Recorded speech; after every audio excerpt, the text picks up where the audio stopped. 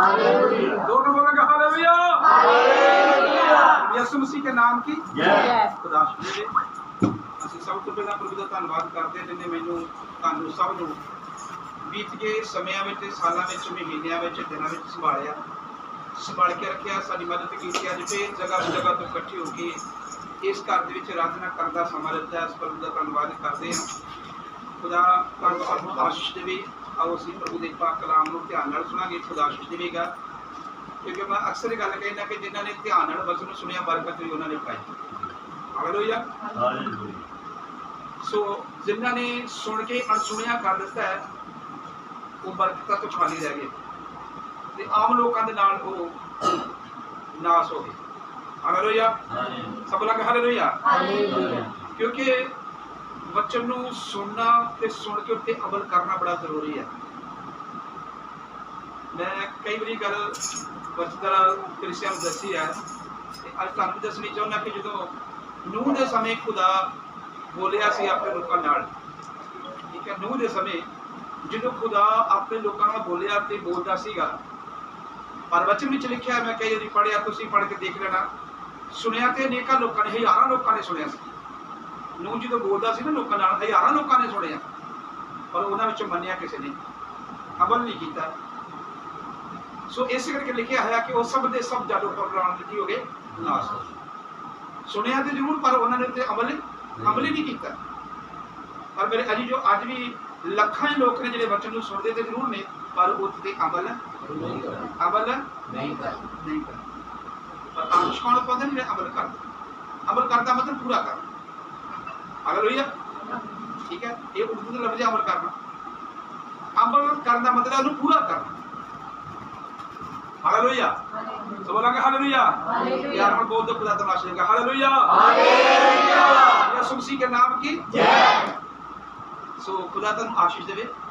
ਰੱਬ ਦਾ ਬੰਦਾ ਜਕੂਬੇ ਸੇ ਵੀ ਕਹਿੰਦਾ ਹੈ ਕਿ ਹਰ ਇਨਸਾਨ ਸੁਣਨ ਵਿੱਚ ਕੀ ਹੋਵੇ? ਕਾਲਾ। ਹਾਲੇਲੂਇਆ। ਹਰ ਇਨਸਾਨ ਸੁਣਨ ਵਿੱਚ ਕੀ ਹੋਵੇ? ਕਾਲਾ। ਤੇ ਬੋਲਣ ਦੇ ਵਿੱਚ ਧੀਰਾ। ਤੇ ਅੱਜ ਇਹ ਸਾਰਾ ਕੁਝ ਉਲਟਿਆ ਨਾ। ਲੋਕ ਸੁਣਦੇ ਤੇ ਬੜੇ ਲਾਪਰਵਾਹੀ ਨਾਲ ਆ। ਸੁਣਦੇ ਨਹੀਂ ਤਾਂ ਤੇ ਬਿਲਕੁਲ ਸੁਣਦੇ। ਨਹੀਂ। ਲਾਪਰਵਾਹੀ ਸੰਗਤ ਵਿੱਚ ਬਹਿ ਕੇ ਵਚਨ ਨਹੀਂ ਸੁਣਦੇ। ਹਾਲੇਲੂਇਆ। ਪਰ ਜਦੋਂ ਕੋਈ ਗੱਲ ਕਰੀਏ ਤੇ ਫੇਰ ਇੱਕ ਦਿਨ ਚਾਰ ਚਾਰ ਵੀ ਹੋ ਜਾਂਦੇ ਹਾਲੇਲੂਇਆ। ਪਰ ਵਚਨ ਕੀ ਕਹਿੰਦਾ ਹਰ ਇਨਸਾਨ ਸੁਣਨ ਵਿੱਚ ਕੀ ਹੋਣਾ ਚਾਹੀਦਾ? ਕਾਲਾ ਹੋਣਾ ਤੇਜ਼ ਹੋਣਾ ਚਾਹੀਦਾ। ਤੇ ਬੋਲਣ ਵਿੱਚ ਬੜਾ ਸਲੋ ਹੋਣਾ ਚਾਹੀਦਾ ਘੱਟ ਹੋਣਾ ਚਾਹੀਦਾ। ਤਾਂ ਹੀ ਤੇ ਵਚਨ ਵਿੱਚ ਲਿਖਿਆ ਜੋ ਕੋ ਜੀਵਨ ਨਾਲ ਪ੍ਰੇਮ ਰੱਖਣਾ ਤੇ ਭਲੇ ਦਿਨ ਵੇਖਣੇ ਚਾਹੁੰਦਾ ਨਾ ਆਪਣੀ ਸੀਬ ਨੂੰ ਕੀ ਕਰੇ? ਪੰਜਾਬੀ ਚ ਕਹੋ ਲਗਾਮ ਜੀ ਕਰੇ ਕੰਟਰੋਲ ਵਿੱਚ। ਹਾਲੇਲੂਇਆ। ਹਾਲੇਲੂਇਆ। ਬੋਲਾਂਗੇ ਹਾਲੇਲੂਇਆ। ਹਾਲੇਲੂਇਆ। ਅੱਜ ਕਈ ਵਾਰੀ ਜ਼ਿੰਦਗੀ ਵਿੱਚ ਤਾਂ ਹੀ ਮੇਰੇ ਅੱਜ ਜੋ ਮੁਸ਼ਕਲਾਂ ਪਰੇਸ਼ਾਨੀਆਂ ਖਤਮ ਨਹੀਂ ਹੁੰਦੀਆਂ ਕਿਉਂਕਿ ਅਸੀਂ ਆਪਣੀ ਜ਼ਬਾਨ ਤੇ ਕਦੇ ਕੰਟਰੋਲ ਕੀਤਾ ਨਹੀਂ ਤੇ ਨਾ ਕਰਦੇ ਹੀ। ਪਰ ਵਚਨ ਕਹਿੰਦਾ ਕਿ ਜੇ ਕੋਈ ਜੀਵਨ ਨਾਲ ਪ੍ਰੇਮ ਰੱਖਣਾ ਤੇ ਭਾਰੀ ਦਿਨ ਵੇਖਣੇ ਚਾਹੁੰਦਾ ਤੇ ਆਪਣੀ ਜੀਭ ਨੂੰ ਮਗਰ ਬੋਲਣ ਤੋਂ ਤੇ ਬੁਲਾ ਨੂੰ ਝੂਠ ਬੋਲਣ ਤੋਂ ਰੋਕ ਰੱਖੇ ਸੋ ਖੁਦਾ ਤੁਹਾਨੂੰ ਆਸ਼ੀਸ਼ ਦੇਵੇਗਾ ਜੇ ਇਹਨਾਂ ਗੱਲਾਂ ਨੂੰ ਅਸੀਂ ਗ੍ਰਹਿਣ ਕਰਾਂਗੇ ਖੁਦਾ ਜ਼ਰੂਰ ਵੱਡੀ ਬਰਕਤ ਦੇਵੇਗਾ ਚਲੋ ਅਸੀਂ ਪੜ੍ਹ ਕੇ ਦੇਖਾਂਗੇ ਇੱਕ ਐਤ ਖੁਦਾ ਤੁਹਾਨੂੰ ਬਰਕਤ ਦੇਵੇਗਾ। ਪਹਿਲਾ ਪਤਰਸੋ ਦੇ 4 ਬਾਪ ਦੀ 19 ਐਤ ਪੜਾਂਗੇ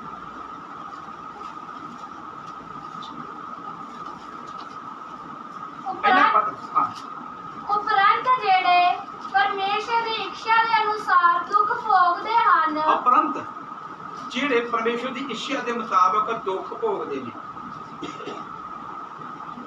ਹੁਣ ਕਈ ਵਾਰੀ ਮੈਂ ਦੇਖਿਆ ਬਹੁਤੇ ਲੋਕੀ ਰੱਬ ਵੱਲ ਭਲਾ ਕਿਉਂ ਮੁੜਦੇ ਨੇ ਕਿਉਂ ਆਉਂਦੇ ਰੱਬ ਵੱਲ। ਕਿਉਂ ਰੱਬ ਨੂੰ ਮੰਨਣਾ ਪਸੰਦ ਕਰਦੇ ਨੇ? ਕਿ ਸੁੱਖ ਕਹਿੰਦੇ ਬੜਾ ਮਿਲਦਾ। ਉਧਰੋਂ ਸੁੱਖ ਮਿਲੂਗਾ ਜੀ। ਬਸ ਮਿਲੇਗਾ ਸੁੱਖ। ਪਰ ਸੁੱਖ ਤੋਂ ਪਹਿਲਾਂ ਦੁੱਖ ਮਿਲਣਾ। ਹਾਲੇਲੂਇਆ। ਹਾਲੇਲੂਇਆ। ਕਿਉਂਕਿ ਫਿਰ ਅਜ਼ੀਮ ਬੜਾ ਪ੍ਰਭੂ। ਤੁਸੀਂ ਬੱਚੇ ਨੂੰ ਪੜ੍ਹ ਕੇ ਦੇਖੋ ਸ਼ੁਰੂ ਤੋਂ ਲੈ ਕੇ ਜੇ ਮੂਸਾ ਨੂੰ ਰੱਬ ਨੇ ਚੁਣਿਆ ਸੀ ਕੀ ਮਿਲਿਆ ਸੀ? ਦੁੱਖ ਮਿਲਿਆ ਸੀ। ਹਾਲੇਲੂਇਆ। ਸੁਣਿਆ ਧਿਆਨ ਨਾਲ ਗੱਲ ਸੁਣਨ ਵਾਲੀ ਹੈ। ਸੁੱਖ ਤੇ ਚਾਹੁੰਦੇ ਪਰ ਸੁੱਖ ਤੋਂ ਪਹਿਲਾਂ ਸਾਨੂੰ ਦੁੱਖ ਭੋਗਣਾ ਪੈਣਾ। ਦੁੱਖ ਦੇ ਵਿੱਚ ਜੇ ਅਸਥਿਰ ਰਹੇ ਤੇ ਜੇ ਆਪਣੇ ਤੋਰ ਵਿੱਚ ਖਰੇ ਨਿਕਲੇ ਨਾ ਤਾਂ ਫਿਰ ਰੱਬ ਸੁੱਖ ਚਲੇ. ਹਾਲੇਲੂਇਆ ਤੇ ਕਈ ਲੋਕ ਦੁੱਖ ਨੂੰ ਵੇਖ ਕੇ ਭੱਜ ਜਾਂਦੇ ਨੇ। ਦੁੱਖ ਸਹਿਣਾ ਨਹੀਂ ਪਸੰਦ ਕਰਦੇ ਦੁੱਖ ਤੋਂ ਸੁੱਖ ਕਿੱਥੋਂ ਆ ਕਰਵੇ ਮੂਸਾ ਨੂੰ ਪਰਮੇਸ਼ਰ ਨੇ ਚੁਣਿਆ ਤੇ ਮੂਸਾ ਵੀ ਭੱਜਿਆ ਸੀ। ਹਾਲੇਲੂਇਆ ਸਭ ਲੱਗਾ hallelujah hallelujah. Hallelujah hallelujah so ਮੂਸਾ ਨੂੰ ਵੀ ਪਹਿਲਾਂ ਦੁੱਖ ਝੱਲਣਾ ਪਿਆ। ਇਸ ਵਿੱਚ ਖੁਦਾ ਤੁਹਾਨੂੰ ਆਸ਼ੀਸ਼ ਦੇਵੇ ਬੱਚੇ ਨੂੰ ਧਿਆਨ ਨਾਲ ਸੁਣਨਾ। ਦੁੱਖ ਸਾਡਾ ਦੁੱਖ ਨਹੀਂ ਦੁੱਖ ਸਾਡੇ ਲਈ ਇੱਕ ਸੁੱਖ ਆ ਪਰ ਜੇ ਦੁੱਖ ਨੂੰ ਸਹਿਣ ਕਰੀਏ ਤੇ। ਠੀਕ ਹੈ? ਇਸ ਕਰਕੇ ਮੇਰੇ ਅਜੀ ਜੋ ਯਿਸੂ ਮਸੀਹ ਨੂੰ ਪਹਿਲਾਂ ਦੁੱਖ ਝੱਲਣਾ ਪਿਆ ਤਾਂ ਹੀ ਉਹ ਅੱਜ ਧਰਤੀ ਤੇ ਅਸਮਾਨ ਦਾ ਤੇ ਪਤਾਲ ਦਾ ਮਾਲਕ ਆ.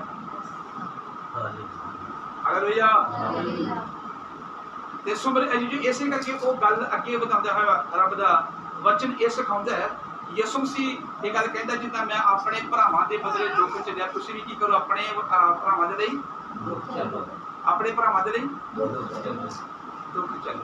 ਹਾਲੇਲੂਇਆ। ਸਭ ਲੱਗਾ ਹਾਲੇਲੂਇਆ। ਸੋ ਦੁੱਖ ਝੱਲਣਾ ਤੇ ਆਪੋ ਆਪਣੀ ਜ਼ਿੰਮੇਵਾਰੀ ਨੂੰ ਸੇਵਾ ਨੂੰ ਮੇਰੇ ਅੱਜ ਜੋ ਅਸਥਿਰ ਰੱਖਣਾ ਮਜ਼ਬੂਤ ਰੱਖਣਾ ਫੜਾਈ ਰੱਖਣਾ। ਆਪਣੇ ਈਮਾਨ ਦੇ ਵਿੱਚ ਟਿਕੇ ਰਹਿਣਾ। ਤੇਰਾ ਬੱਦੇ ਕੀ ਦੁਆ ਕਰ ਦੁੱਖ ਸੁੱਖ ਤੇ ਹੁੰਦੇ ਜਾਂਦੇ ਰਹਿਣ। ਇਹ ਕਿਸੇ ਰੱਬ ਦੇ ਦਾਸ ਨੇ ਬੜਾ ਵਧੀਆ ਗੀਤ ਗਾਇਆ ਸੀ, ਕਹਿੰਦਾ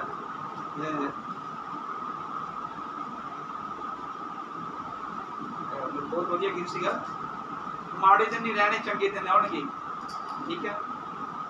ਯਿਸੂ ਦੇ ਖੂਨ ਖਰੀਦੇ ਸਦਾ ਸੁੱਖ। ਠੀਕ ਹੈ? ਮਸੀਹ ਵਿੱਚ ਜ਼ਿਆਦਾ ਦੁੱਖ ਆਵੇਗਾ ਨਾ, ਦੁੱਖ ਜ਼ਿਆਦਾ ਚਿਰਦਾ ਨਹੀਂ ਹੈ। ਥੋੜੇ ਸਬਰ ਜ਼ਰੂਰ ਹੈ। ਮਾੜੇ ਦਿਨ ਨਹੀਂ ਰਹਿਣੇ, ਚੰਗੇ ਦਿਨ। ਆਉਣਗੇ, ਆਵਾਜ਼ ਆਉਣਗੇ ਇੱਕ ਦਿਨ ਇੱਕ ਦਿਨ ਆਉਣਗੇ ਸਾਡੀ ਅਡੀਕ ਕਦੀ ਮਸੀਹ ਦੇ ਵਿੱਚ ਥੋਚੀ ਨਹੀਂ ਹੋ ਸਕਦੀ। ਠੀਕ ਹੈ? ਮਸੀਹ ਉੱਤੇ ਭਰੋਸਾ ਰੱਖਣ ਵਾਲੇ ਲੋਕ ਕਦੇ ਸ਼ਰਮਿੰਦਾ ਨਹੀਂ ਹੋ ਸਕਦੇ। ਤੇ ਨਾ ਉਹ ਆਪਣੇ ਲੋਕਾਂ ਨੂੰ ਹੋਣ ਦਿੰਦਾ ਹੀ ਹੈ। ਸਾਰੀ ਦੁਨੀਆ ਕਹਿੰਦੇ ਕੰਮ ਨਹੀਂ ਹੋ ਸਕਦਾ, ਪਰ ਮੇਰੇ ਯਿਸੂ ਕਹਿੰਦਾ ਮੇਰੇ ਤੋਂ ਹੋ ਸਕਦਾ। ਮੈਂ ਕਈ ਦੁਆ ਕਰਦਾ, ਕਹਿੰਦਾ ਬੁਲਾਉਂਦਾ ਜੇ ਤੂੰ ਊਠ ਨੂੰ ਸੂਈ ਦੇ ਨੱਕੇ ਥੱਲੇ ਨਿਗਾਹ ਸਕਦਾ, ਹਾਲੇਲੂਇਆ ਤੇ ਤੂੰ ਹੋਰ ਕੀ ਕੁਝ ਨਹੀਂ ਕਰ ਸਕਦਾ। ਜਦੋਂ ਚੇਲਿਆਂ ਨੇ ਪੁੱਛਿਆ ਵੀ ਇਹ ਕਿੱਦਾਂ ਹੋਊ? ਕਹਿੰਦਾ ਜਿਹੜਾ ਕੁਝ ਇਨਸਾਨ ਦੇ ਕੋਲ ਅਨਹੋਣਾ ਨਾ, ਉਹ ਪਰਮੇਸ਼ਰ ਦੇ ਕੋਲ ਹੋ ਸਕਦਾ ਹੈ। ਹਾਲੇਲੂਇਆ ਲੇਕਿਨ ਜੋ ਇਹ ਗੱਲ ਕਹੀ ਨਾ ਯਿਸੂ ਮਸੀਹ ਨੇ ਕਿ ਧੰਨਵਾਦ ਦਾ ਸਵਰਗ ਜਾਣਾ, ਇਹਦੇ ਨਾਲੋਂ ਔਖਾ ਕਿ ਊਠ ਦਾ ਸੂਈ ਦੇ ਨੱਕੇ ਥਾਣੇ ਲੰਘ ਜਾਣਾ ਸਖਾਲਾ ਤੇ ਚੇਲੇ ਨੇ ਪੁੱਛਿਆ, ਪ੍ਰਭੂ ਜੀ, ਕਿਦਾਂ ਹੋ ਸਕਦਾ? ਊਠ ਏਡਾ ਵੱਡਾ ਤੇ ਸੂਈ ਦਾ ਨਿੱਕਾ ਨਿੱਕਾ ਰਿਹਾ ਉਹਨੇ ਕਿਹਾ ਜੋ ਕੁਝ ਇਨਸਾਨ ਦੇ ਕੋਲ ਅਨਹੋਣਾ ਨਾ ਉਹ ਖੁਦਾ ਦੇ ਕੋਲੋਂ ਹੋ ਸਕਦਾ ਹੈ। ਠੀਕ ਹੈ ਇਸ ਕਰਕੇ ਮੇਰੇ ਅਲੀ ਜੋ ਉਹ ਖੁਦਾ ਕਰ ਸਕਦਾ ਹੈ ਉਹ ਕਰਨ ਦੀ ਕੁਦਰਤ ਰੱਖਦਾ ਹੈ ਉਹ ਸਮਰਥੀ ਪਰਮੇਸ਼ਰ ਹੈ। ਇਹ ਰੋਮੀਆਂ ਦੀ ਕਿਤਾਬ ਚ ਰੱਬ ਦਾ ਦਾਸ ਸੰਤ ਖਰੂਸ ਇਹ ਗੱਲ ਕਹਿੰਦਾ ਕਿ ਉਹਦੀ ਰਚਨਾ ਜਿਹੜੀ ਹੈ ਨਾ ਉਹਦੀ ਰਚਨਾ ਉਹਦੇ ਕੰਮਾਂ ਤੋਂ ਚੰਗੀ ਤਰ੍ਹਾਂ ਦਿਸਦੀ ਹੈ ਜੋ ਕਰ ਸਕਦਾ ਉਹਦੀ ਜਿਹੜੀ ਰਚਨਾ ਨਾ ਉਹਦੀ ਸ਼ਕਤੀ ਆ ਉਹਦੇ ਕੰਮਾਂ ਤੋਂ ਚੰਗੀ ਤਰ੍ਹਾਂ ਦਿਸਦੀ ਹੈ ਇਹ ਕਰ ਸਕਦਾ ਜੇ ਬਿਨਾਂ ਥੰਮਾਂ ਤੋਂ ਕਾਸ਼ ਤਾਣ ਤਾਣ ਸਕਦਾ ਤੇ ਉਹ ਸਭ ਕੁਝ ਹਾਲੇਲੂਇਆ ਬੋਲਾਂਗੇ ਹਾਲੇਲੂਇਆ ਜੇ ਮੇਰੇ ਅਜੀ ਜੋ ਬਿਨਾਂ ਬੰਨਿਆਂ ਤੋਂ, ਠੀਕ ਹੈ ਉਹ ਸਮੁੰਦਰ ਦੇ ਪਾਣੀਆਂ ਨੂੰ ਥੰਮ ਸਕਦਾ ਤੇ ਕੋਈ ਵੀ ਸਭ ਕੁਝ? ਕਰ ਸਕਦਾ ਕੋਈ ਅੱਖੀ ਗੱਲ ਨਹੀਂ ਹੈ। ਮੈਂ ਕਹਿ ਰਹੀ ਸੋਚਦਾ ਰੱਬਾ ਜੇ ਤੂੰ ਇਨਸਾਨ ਨੂੰ ਮਿੱਟੀ ਤੋਂ ਬਣਾ ਸਕਦਾ ਤੇ ਤੂੰ ਹੋਰ ਕੀ ਨਹੀਂ ਕਰ ਸਕਦਾ?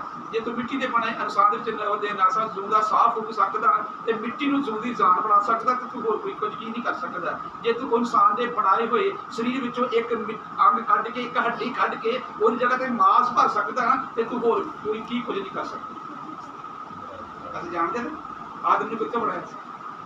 ਇਹ ਹਰਮਾ ਹਵਾ ਨੂੰ ਕਿੱਥੋਂ ਬਣਾਇਆ ਸੀ? ਨਿੱਕਾ ਹੱਡੀਆਂ ਵਿੱਚੋਂ ਹੱਡੀ ਕੱਢ ਕੇ ਤੇ ਕੀ ਕੀਤਾ? ਉਹਦੀ ਜਗ੍ਹਾ ਤੇ ਮਾਸ ਭਰ ਦਿੱਤਾ। ਆਦਮ ਨੂੰ ਖੁਦ ਨਹੀਂ ਪਤਾ ਚੱਲਿਆ ਕਿ ਮੇਰੀ ਹੱਡੀਆਂ ਵਿੱਚੋਂ ਕੱਢੀ ਗਈ। ਤੇ ਕੋਈ ਜਗ੍ਹਾ ਤੇ ਮਾਸ ਭਰ ਦਿੱਤਾ। ਹਾਲੇਲੂਇਆ ਸਭ ਨਾਲ ਕਿ ਹਾਲੇਲੂਇਆ ਹਾਲੇਲੂਇਆ। ਇਸੋ ਮੈਂ ਇੱਕ ਗੱਲ ਕਹਿਣੀ ਚਾਹੁੰਦਾ ਤੁਹਾਨੂੰ ਵੀ ਪੁੱਛਣੀ ਚਾਹੁੰਦਾ ਕਿ ਆਦਮ ਨੂੰ ਪਰਮੇਸ਼ਰ ਨੇ ਕਿਉਂ ਪਹਿਲਾਂ ਬਣਾਇਆ? ਔਰਤ ਨੂੰ ਵੀ ਤਾਂ ਬਣਾ ਸਕਦਾ ਸੀ ਪਰਮੇਸ਼ਰ। ਹਾਲੇਲੂਇਆ ਸਭ ਨਾਲ ਕਿ ਹਾਲੇਲੂਇਆ ਹਾਲੇਲੂਇਆ ਆਦਮ ਨੂੰ ਹੀ ਕਿਉਂ ਬਣਾਇਆ ਪਰਮੇਸ਼ਰ ਨੇ ਪਹਿਲਾਂ? Hallelujah Hallelujah. ਪਰ ਅੱਜ ਦਾ ਇਨਸਾਨ ਇਹਨਾਂ ਸਾਰੀਆਂ ਗੱਲਾਂ ਨਾ ਜਾਣਦਾ ਹੋਇਆ ਨਾ ਨਿਰਬੁੱਧ ਬਣਿਆ।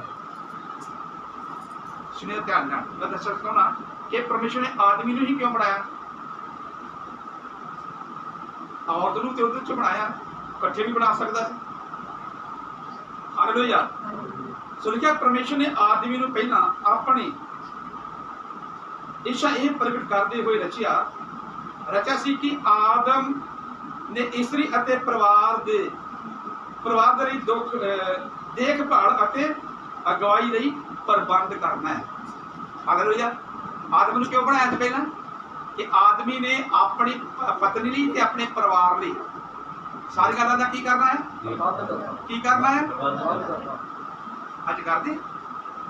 ਅੱਜ ਤਾਂ ਬਹੁਤ ਸਾਰੇ ਲੋਕਾਂ ਨੂੰ ਦੇਖਿਆ ਆਪਣੀ ਜਾਨ ਕਹਿੰਦੇ ਦੋ ਘਰ। ਹਾਲੇਲੂਇਆ ਇਹਦਾ ਮਤਲਬ ਕੀ ਹੈ ਕੁਛ ਹੁੰਦਾ ਪਤਾ?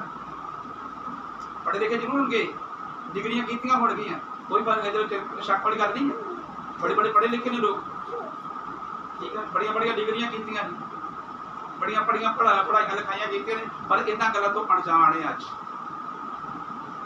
ਆਦਮ ਨੂੰ ਪਰਮੇਸ਼ਰ ਨੇ ਇਸੇ ਲਈ ਪਹਿਲਾਂ ਬਣਾਇਆ ਸੀ ਕਿ ਇਹਦੀਆਂ ਜ਼ਿੰਮੇਵਾਰੀਆਂ ਜ਼ਿਆਦਾ ਤੇ ਜ਼ਿੰਮੇਵਾਰੀਆਂ ਆਪਣੇ ਪਰਿਵਾਰ ਦੀਆਂ ਪ੍ਰਤੀ, ਜੋ ਇਹਦੀ ਘਰ ਵਾਲੇ ਦੇ ਪ੍ਰਤੀ ਇਹਦੀਆਂ ਜ਼ਿੰਮੇਵਾਰੀਆਂ ਦਾ ਫਲੋ ਕੀ ਕਰੇ? ਤੇ ਅੱਗੇ ਲਿਖਿਆ, ਜੇ ਔਰਤ ਨੂੰ ਕਦੋਂ ਬਣਾਇਆ? ਕਦ ਲਈ ਬਣਾਇਆ? ਉਹਦੀ ਸਹਾਇਕ। ਉਹਦੀ ਮਦਦਗਾਰ ਸਪੋਰਟ ਵਾਸਤੇ ਬਣਾਇਆ ਸੀ। ਤੇ ਅੱਜ ਮੈਂ ਕਹਿੰਦੀ ਦੇਖਿਆ ਬਹੁਤ ਸਾਰੇ ਬੱਚਿਆਂ ਨੂੰ, ਉਹ ਸਪੋਰਟ ਬਣੇ ਨੇ ਜਨਾਨੀ ਜਨਾਨੀਆਂ ਸਾਰਾ ਕੁਝ ਚਲਾ ਰਹੀਆਂ ਨੇ, ਪਰ ਬੰਦਾ ਸਪੋਰਟ ਬਣਿਆ ਹੈ ਜਦ ਕਿ ਜਿਹਦੀ ਸਪੋਰਟ ਹੋਣੀ ਚਾਹੀਦੀ ਆ, ਉਹ ਸਪੋਰਟ ਨਹੀਂ, ਉਹ ਕੀ ਬਣੀ ਆ, ਸਿਰ ਆਗੂ ਜਾਂ ਮਤ ਮੰਨ ਲਓ ਇੱਕ ਮੋਤਬਰ ਬਣਿਆ ਹੈ ਤੇ ਜਿਹੜੀ ਸਪੋਰਟ ਆ, ਉਹ ਮੋਤਬਰ ਹੈ ਤੇ ਜਿਹੜਾ ਮੋਤਬਰ ਹੋਣਾ ਚਾਹੀਦਾ, ਉਹ ਸਪੋਰਟ ਬਣਿਆ ਤੇ ਉਲਟਾ ਨਹੀਂ ਸਭ ਕੁਝ ਹੋ ਰਿਹਾ? ਹਾਲੇਲੂਇਆ। ਸਭ ਬੋਲਾਂਗੇ ਹਾਲੇਲੂਇਆ।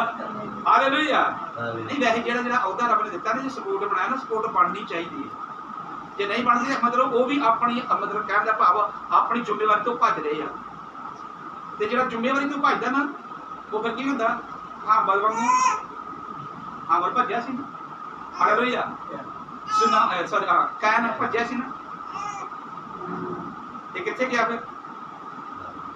ਸੁਣਾ ਆਪਣੀ ਜ਼ਿੰਮੇਵਾਰੀ ਤੋਂ ਛੱਡ ਕੇ ਭੱਜਿਆ ਸੀ ਨਾ, ਫਿਰ ਕੀ ਬਣਿਆ?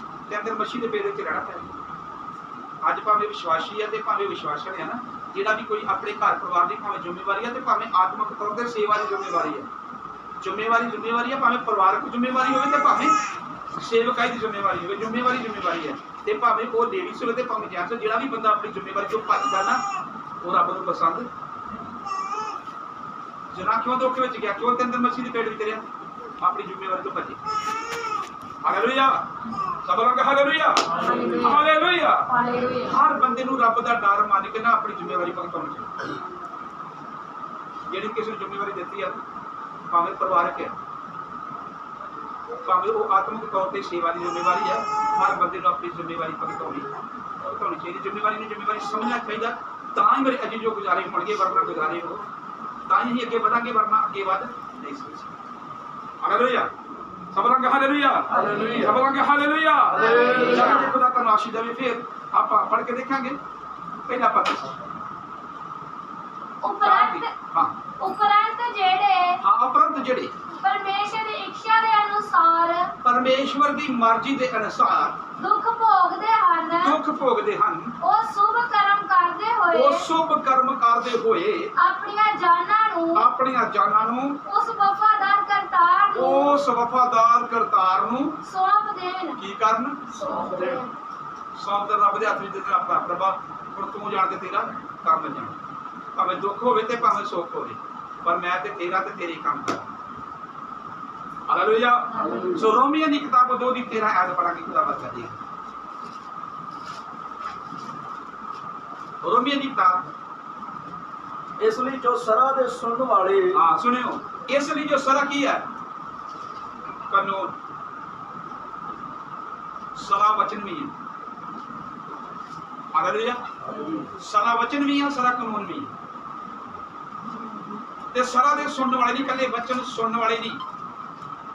ਕੀ ਲਿਖਿਆ? ਪੜਾਂਗੇ ਇਸ ਲਈ ਜੋ ਸਰਾ ਦੇ ਸੁਣਨ ਵਾਲੇ ਇਸ ਲਈ ਜੋ ਸਰਾ ਦੇ ਸੁਣਨ ਵਾਲੇ ਪਰਮੇਸ਼ਰ ਦੇ ਭਾਣੇ ਧਰਮੀ ਨਹੀਂ ਹੁੰਦੇ। ਰੱਬ ਦੇ ਭਾਣੇ ਧਰਮੀ ਨਹੀਂ ਹੁੰਦੇ। ਕੱਲਾ ਵਚਨ ਨੂੰ ਸੁਣਨ ਵਾਲੇ ਰੱਬ ਦੇ ਭਾਣੇ ਧਰਮੀ ਨਹੀਂ ਬਣਦੇ। ਵਚਨ ਨੂੰ ਪੂਰਾ ਕਰਨ ਵਾਲੇ ਧਰਮੀ ਬਣਦੇ ਆ। ਸੋ ਮੇਰੇ ਅਜੀਓ ਰੱਬ ਦੇ ਵਚਨ ਨੂੰ ਪੂਰਾ ਕਰਿਆ ਕਰੋ। ਕੱਲੇ ਸੁਣਨ ਵਾਲੇ ਨਾ ਬਣੋ। ਜਿਹੜਾ ਬੰਦਾ ਸਾਨੂੰ ਉਹਦੇ ਸਮੇਂ ਬੜੇ ਲੋਕਾਂ ਨੇ ਵਚਨ ਸੁਣਿਆ ਸੀ, ਬਹੁਤ ਲੋਕਾਂ ਨੇ ਸੁਣਿਆ ਸੀ ਉਹ ਕਹਿੰਦਾ ਸੀ, ਜਦ ਪਰਲੋ ਆਉਣ ਵਾਲੇ ਲੋਕੋ ਬਚ ਸੁਣਿਆ ਤੇ ਬੜਿਆ ਨੇ, ਪਰ ਕਿਸੇ ਨੇ ਪ੍ਰਵਾਹ। ਪ੍ਰਵਾਹ ਅੱਜ ਵੀ ਲੱਖਾਂ ਲੋਕ ਨੇ ਵਚਨ ਨੂੰ ਸੁਣਦੇ, ਜ਼ਰੂਰ ਨਹੀਂ ਪਰ ਵਚਨ ਦੀ ਪ੍ਰਵਾਹ। ਪਰਵਾਹ ਨਹੀਂ ਕਰਦੇ ਤਾਂ ਹਾਲਾਤ ਨਹੀਂ ਸੁਧਰਦੇ। ਤਾਂ ਜ਼ਿੰਦਗੀ ਵਿੱਚ ਮੇਰੇ ਹਜੀ ਜੋ ਸੁੱਖ ਸਲਾਮਤੀ ਨਹੀਂ ਆ ਰਹੀ। ਤਾਂ ਹੀ ਜ਼ਿੰਦਗੀ ਵਿੱਚ ਕੋਈ ਤਬਦੀਲੀ ਨਹੀਂ ਹੈ। ਮੈਂ ਗੋਦਰ ਚਰਚ ਵਿੱਚ ਪੁੱਛ ਰਿਹਾ ਸੀ। ਮੈਂ ਕਿਹਾ ਤੋਬਾ ਦਾ ਮਤਲਬ ਕੀ ਹੁੰਦਾ ਹੈ? ਤੁਸੀਂ ਵੀ ਦੱਸ ਸਕਦੇ ਤੋਬਾ ਦਾ ਮਤਲਬ ਕੀ ਹੈ? ਅੱਜ ਕਹਿੰਦੇ ਤੋਬਾ ਕੀਤੀ ਹੋਈ ਤੋਬਾ ਦਾ ਮਤਲਬ ਕੀ ਆ? ਤਬਦੀਲ ਹੋਣਾ, ਬਦਲਣਾ। ਤੇ ਕੀ ਬਦਲਿਆ ਸਾਡਾ ਮੈਂ ਪੁੱਛ ਰਿਹਾ ਸੀ, ਆਤਮਾ ਦੇ ਕਿੰਨੇ ਫਲ ਨੇ ਭਲਾ? ਸਾਡੇ ਵਿੱਚੋਂ ਪਤਾ ਨਾ? ਕਿੰਨੇ ਫਲ ਨੇ ਤੇ ਨਵਾਂ ਵਿੱਚੋਂ ਇੱਕ ਵੀ ਹੈਗਾ ਸਾਡੇ ਵਿੱਚ? ਲੋਕਾਂ ਨੇ ਸਵਾਲ ਕੀਤਾ ਸਾਰੇ। ਮੈਂ ਕਿਹਾ ਨਵ ਆਤਮਾ ਆਤਮਾ ਸਾਰੇ ਕਹਿੰਦੇ ਆਤਮਾ ਦੇ ਨੌ ਫਲ ਨੇ। ਤੇ ਮੈਨੂੰ ਇੱਕ ਵੀ ਫਲ ਆਪੇ ਦੱਸ ਦਿਓ ਸਾਂਭ ਮਤਲਬ ਕਹਿੰਦੇ ਵੀ ਆਹ ਫਲ ਦੇ ਚਾਹੀਦਾ ਨਵਾਂ ਵਿੱਚੋਂ ਇੱਕ ਵੀ ਨਵਾਂ ਤਾਂ ਛੱਡੋ, ਬਾਕੀ ਦੀ ਗੱਲਾਂ ਵੈਸੇ ਤੇ ਬਚਨ ਕਹਿੰਦਾ, ਸਾਰੇ ਚ ਨੌ ਦੇ ਨੌ ਫਲ ਹੋਣੇ ਚਾਹੀਦੇ ਨੇ।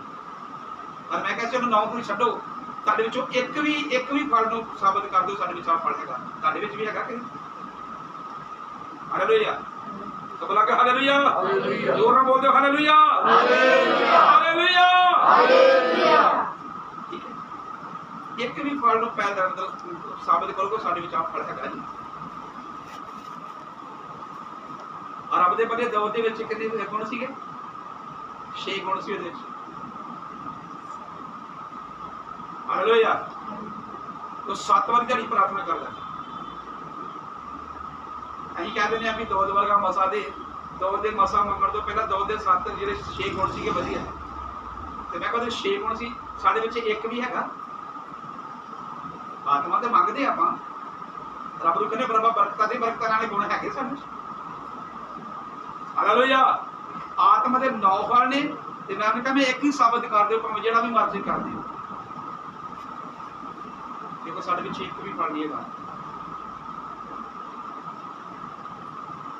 ਦੋ ਦੇ ਵਿੱਚ 6 6 ਗੁਣ ਸੀ। ਤੇ ਮੈਂ ਕਿਹਾ ਇੱਕ ਹੀ ਇੱਕ ਹੀ ਗੁਣ ਪੈਦਾ ਕਰ ਸਾਬਤ ਕਰ ਸਾਡੇ ਵਿੱਚ ਆਪਣੇ ਹਾਲੇਲੂਇਆ। ਹਾਲੇਲੂਇਆ। ਜੋਰ ਨਾਲ ਬੋਲਾਂਗੇ ਹਾਲੇਲੂਇਆ। ਹਾਲੇਲੂਇਆ। ਘੜੀ ਮੁੜੀ ਕਿਉਂ ਕਹਿਣਾ ਪੈਂਦਾ ਚੇਤਾ ਭੁੱਲ ਜਾਂਦਾ।